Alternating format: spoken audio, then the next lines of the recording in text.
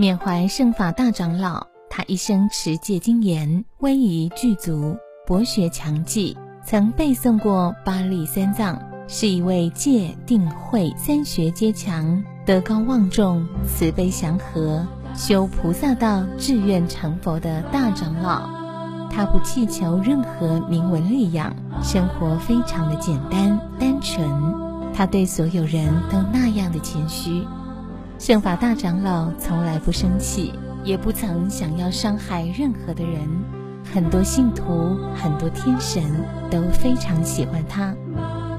圣法大长老在一九三九年四月二十四日出生于斯里兰卡库鲁内格勒区的伊米哈明内村，家里有四个兄弟，他排行第三。大长老在一两岁的时候。隐约记得他的出生是从很高的地方下生人间，来人间的目的是要出家，最后再回到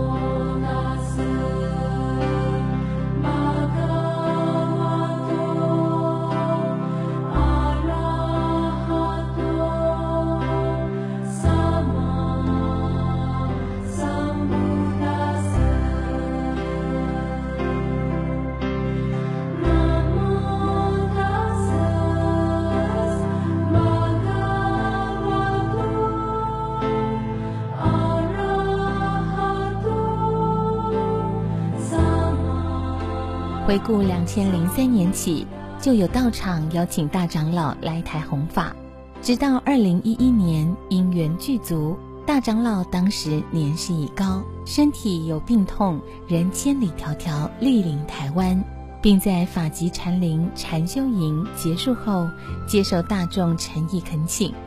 回说愿把慈心留在台湾。亦曾提过，愿将持清净戒之功德回向台湾大众。我们都知道，大长老来台湾的这五年，他都是带着病况来教导的。大长老说，他要把慈心留在台湾，将他的修行功德回向给台湾的老百姓们。大长老。虽然是这么样子的伟大，但是他在这五年到台湾，他却是非常的低调，几乎除了禅修营的教导以外，并没有多少人知道他，甚至僧团亦然。一年复一年，在这五年里面，大长老却是每一年每一年。都是带着一颗弘法的心到台湾，我们很感激他。第一次看到他的时候，是他他的他在惊醒啊，哈，他的他在走路啊，让我的感觉就是感觉，哎，就很像是看到真正的佛，就是当下的佛是真的。我们在从佛经里面所描述的佛这样子，而不是说在影像里面的佛，就是真实的一尊佛在那里经行走路这样子，那种感受是这样子。啊，后来哈就慢慢从他的开示啊，或者说从他的身表仪表所流露出来的，处处都没有离开戒定慧，没有离开哈正念。我们都感受到说，他随时好像那个界定会那个诶试炼处啦，哈什么八正道了，好像他随时都有啊，哎不必像我们坐在那里才说哦，现在需要正精进啊，现在需要怎样啊？不需要。呃，去年我也和张振中师兄他们一群人到啊榕树林僧团参访，而大长老给我最大的感动就是，我们虽然语言不通啊，但是我们的他给我们的每一个眼神和每一个微笑。都会带来给我们的内心的那个平静还有和谐。呃，虽然大长老离开了，可是我只要想到一大长老，我就想到他的微笑，啊，我就能够啊，最有力量，能够啊面对我自己的愁悲苦忧呢，很感恩的是能够呃认识大长老。虽然他现在已经离开我们了，但我们很感谢啊大长老，大长老的心神与我们常在。五年来，每年十一月皆前来台湾弘法，让大众感受大长老的慈心护念，也摄受更多人因净化身心而得受益。二零零八年，我到斯里兰卡龙树林禅修，那是圣法大长老单独帮我受沙弥戒。那因为是用巴利文受戒，所以受戒前我非常的紧张。但是见到长老以后，他那个慈祥的眼神，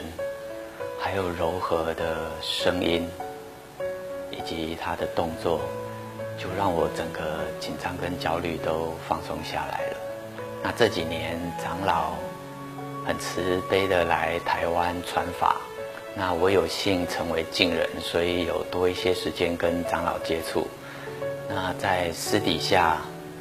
看到长老跟他的侍者板德在互动的时候，他一样那些自在、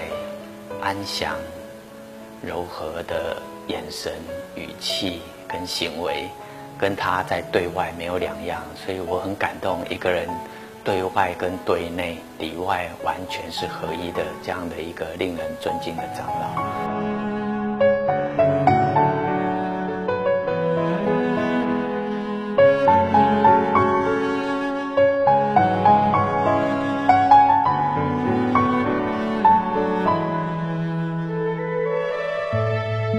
世事变化无常，圣法大长老于二零一六年九月七日凌晨舍报，大众痛失医护，祈愿长老往生天界，待因缘再返回人间，成就佛果。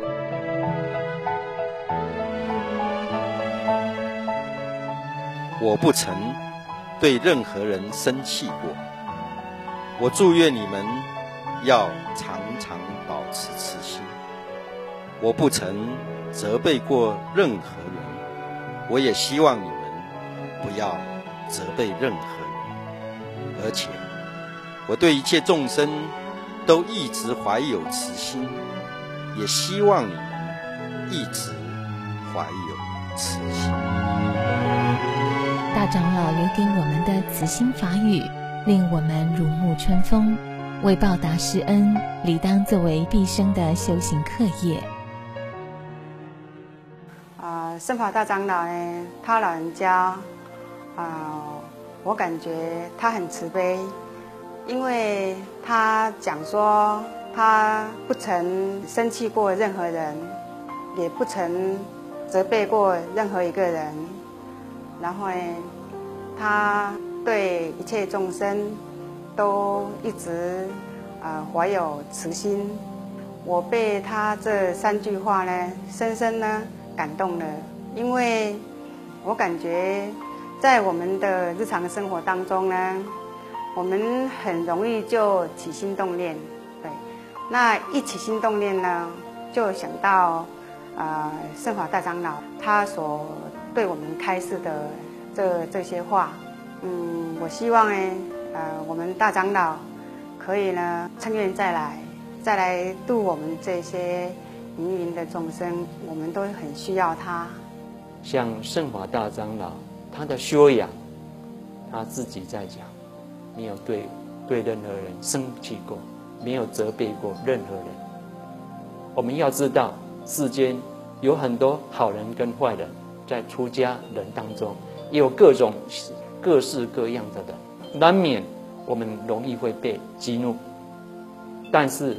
能够保持一种容忍的心，安忍。即使知道这个人是无理取闹，还能够容忍，知道世间的众生是这样，啊，这是很不容易，值得我们去效法、去学习。大家都很期待，在亲近这位菩萨，在缅怀圣法大长老的同时，我们更值得去学习圣法大长老这些优良的、殊胜的品德。德行，这我们来缅怀、来纪念圣法大长老才有意义。圣法大长老所遗留下来的手稿提到，他并不是弥勒菩萨，而是弥勒佛后的下一尊佛。他过去曾被佛陀受记过。圣法大长老在一千八百世后，下一劫将会成佛。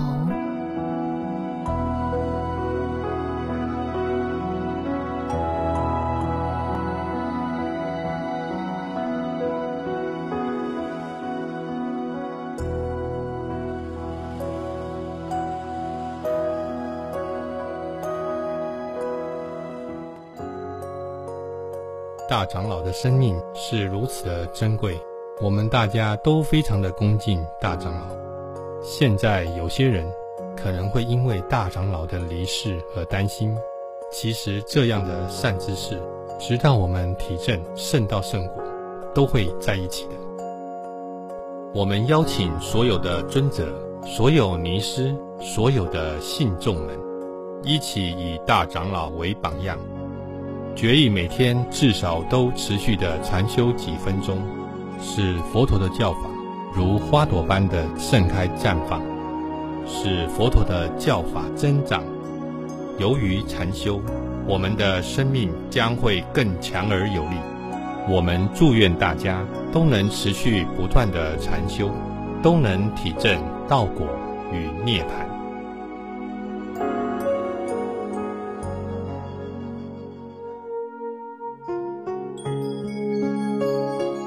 我们祝愿大长老能体证佛果以及证得无上的涅槃之乐。我们也祝愿所有众生都能随喜我们所做的功德善业。祝愿所有众生都能持续的禅修，并体证所有的道果与涅槃。